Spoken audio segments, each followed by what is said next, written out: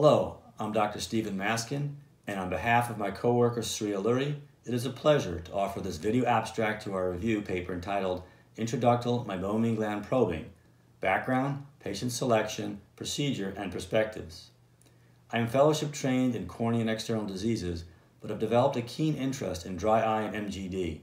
I have managed this disease for over 30 years and have limited my practice to this area for the past five years. Obstructive meibomian gland dysfunction is the most common cause of dry eye. Its conventional treatment has focused on using heat and pressure with anti-inflammatory and antimicrobial therapies, but has often been a frequent, frustrating experience for patient and physician. New evidence from meibomian gland intraductal probing suggests fixed intraductal strictures and obstruction correlating to periductal fibrosis first described in 1997. It is thought that the periductal fibrosis contracts around the gland duct, pinching the walls in, leading to strictures and compromise of the intraductal space and loss of ductal integrity. For treatment of these fixed, non-yielding obstructions, I have found and reported on the successful use of intraductal probing. The successful use of intraductal probing has been reported by this author and in at least nine independent peer-reviewed academic papers from around the world. All papers have shown that gland probing has consistently led to statistically significant improvement in signs and symptoms of gland dysfunction, including cases refractory to other extensive treatments.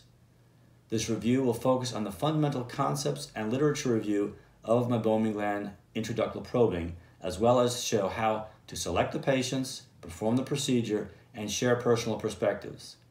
I will finish this video abstract with two key concepts which I now present graphically. The slide left shows periductal fibrosis causing complete distal obstruction of the central duct just above the orifice.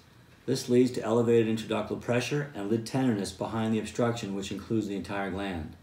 No meibum is expressible from this gland. If the obstruction is not released, then the, the elevated pressure will go on to cause whole gland atrophy as shown on the slide right. This slide left shows periductal fibrosis causing complete proximal obstruction deeper in the gland to at least one meibum-producing acinus. Although this gland expresses meibum and appears healthy on examination, actually is not healthy, as there is deep occult duct blockage proximally.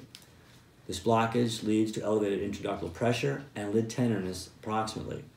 If the blockage is not released, the elevated pressure behind the obstruction will cause the proximal gland behind that obstruction to atrophy, leading to a short truncated gland. Thank you for your attention and please enjoy the article. A new educational resource is available centered on meibomian dysfunction and probing at mgdi.com. And feel free to email me at drmaskin at mgdi.com. Thank you.